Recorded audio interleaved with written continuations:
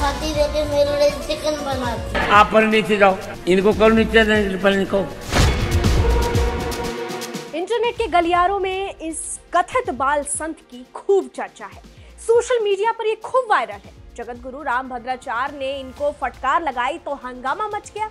रोज़ाना ऐसे ऐसे खुलासे हो रहे हैं कि कथित छोटे संत घिरते नज़र आ रहे हैं। लेकिन इनसे जुड़ी खबर को दिखाने में हमें भी डर लग रहा है। जी हाँ अभिनव अरोड़ा के मामले में लोगों ने खबर दिखाई तो इनके पिता सीधे कोर्ट पहुँच गए। मुकदमा दर्ज करने लगे। लेकिन सवाल है कि आखिर अभिनव के पिता चाहते क्या है? क्या खबर दिखाना कोई गुनाह है? यही नहीं।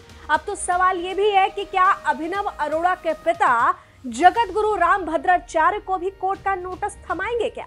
अरे भाई, ज़ाहिर है जगत गुरु राम भद्राचार्य हैं, जिन्होंने उनके बेटे को मूर्ख कहा है। जहाँ इस खबर को दिखाने वालों पर इनके पिता कानूनी दांव खेल रहे हैं। कहीं ऐसा ना हो कि अब ये कानूनी दाव स्वामी राम भद्राचार्य के खिलाफ चलते बहरहाल, इन पर आरोप है कि ये अपने बेटे, यानी अभिनव अरोड़ा को धर्म की आड़ में बाज़ार में उतार रहे हैं पैसे कमाने के लिए। हालाँकि इस पर हम कोई पुष्टि नहीं करते, ये सब कमेंट में लिखा रहा है। बहरहाल हमारा काम आप तक खबर पहुंचाना है। ऐसे में अब अभिनव अरोड़ा की कंट्रोवर्सी में नया मोड़ आ गया है। आइए आपको पूरी खबर बताते हैं। लेकिन उससे पहले आप सभी दर्शकों का स्वागत है एचसी न्यूज़ में। मैं हूँ आपके साथ रंजना उपाध्याय।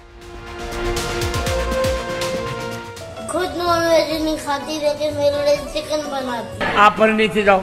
इनको करो नीचे इनको। कंटेंट क्रिएटर और कथित बाल संत। अभिनव अरोड़ा को मंच पर स्वामी राम भद्राचार्य ने खुल्लम खुल्ला डांट दिया। तुरंत उसे मंच से उतरने का निर्देश दे दिया। फिर क्या सोशल मीडिया पर जैसे कमेंट्स की बाढ़ आ गई? इस वीडियो में उन्हें मंच पर स्वामी राम भद्राचार्य से डांट पड़ते भी देखा गया। इस वीडियो में स्वामी जी अमिरव को मंच से उतरने का निर्देश देते नज़र आए। आप पहले नीचे जाओ ये भी कहते नज़र आए। इसके बाद सोशल मीडिया पर अभिनव के कई और वीडियो सामने आ गए। राजा रामचंद्र भगवान की। आप पर नीचे जाओ। इनको करो नीचे पहले इनको। मर्यादा है मेरी। एक वीडियो में वो ये भी कहते दिख रहे हैं कि वो चिकन खाते हैं। इसके बाद उन्हें ट्रोल किया जाने लगा कि भला कृष्ण भक्ति का दावा करने वाले कथित छोटे संत का ये कैसा पक्ष है।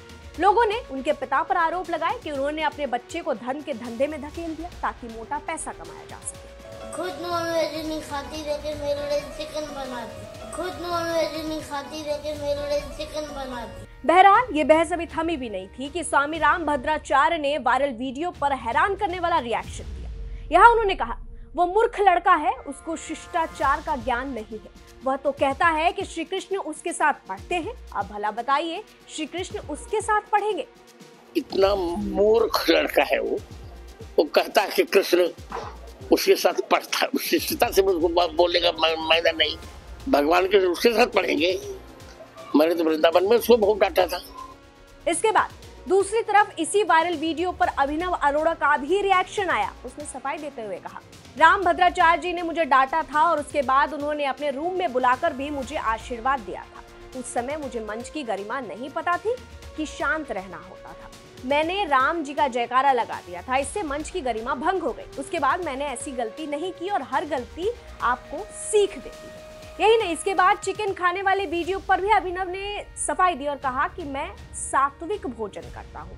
हालाँकि अब इस मामले ने अलग मोड़ ले लिया है। जी हाँ कथित बाल संत के घर वाले आज मथुरा कोर्ट पहुँचे और सात यूट्यूबरों के खिलाफ मुकदमा दर्ज करने की मांग कर दी। यही नहीं, अभिनव अरोड़ा ने कहा, मैं कोर्ट आया हूँ, मैं कोर्ट नहीं आना चाहता था, लेकिन न्याय पाने के लिए मुझे आना पड़ा। यूट्यूबर्स ने इतना आतंक मचाया और जान से मारने की धमकी दी तो मुझे कोर्ट आना पड़ा। यहाँ उन्होंने कहा, लोग मेरे लिए गंदी बातें कह रहे हैं। उनको कोई कुछ नहीं कह रहा है। कौन अपने पिताजी, माताजी से नहीं सीखता? लेकिन मैं स्पष्ट कर दूँ कि मैं पॉडकास्ट में जो बोलता हूँ, वो दिल से कहता हूँ। बहरहाल, अब मामला गंभीर होता दिख रहा है। लेकिन अब आप अपने विवेक पर फैसला कीजिए कि ये हालात यहाँ तक कैसे पहुँचे। और आखिर, मुकदमा करने से क्या हल निकल जाएगा? और सवाल ये भी है कि कहीं अभिनव अरोड़ा के पिता स्वामी राम भद्राचार्य पर न मुकदमा करते कहीं कोर्ट न पहुँच जाए। बहरहाल जो खबर थी हमने आपको बता दी। अब आप कमेंट कर अपनी राय ज़रूर दें। फ़िलहाल के लिए इतना ही देखते रहे न्यूज़ धन्यवाद। खुद नॉन वेज नहीं खाती लेकिन मेरे लिए चिकन बनाती। आप पर नीचे जाओ। इनको करो नीचे पहले